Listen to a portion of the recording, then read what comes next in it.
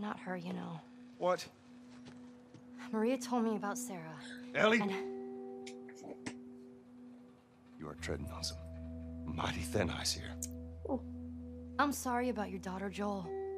But I have lost people too. You have no idea what loss is. Everyone I have cared for has either died or left me. I think she Everyone- understands. Fucking except for you. Oh, So don't tell me that I would be safer with someone else because the truth is I would just be more scared.